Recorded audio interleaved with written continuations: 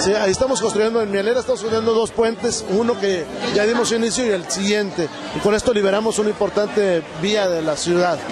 También esta semana la primera piedra del teleférico y este mes, de, entre febrero y marzo, tres primeras piedras de tres preparatorias. Una de ellas en la jabonera este, y creo que con esto eh, completamos una buena parte de la necesidad educativa.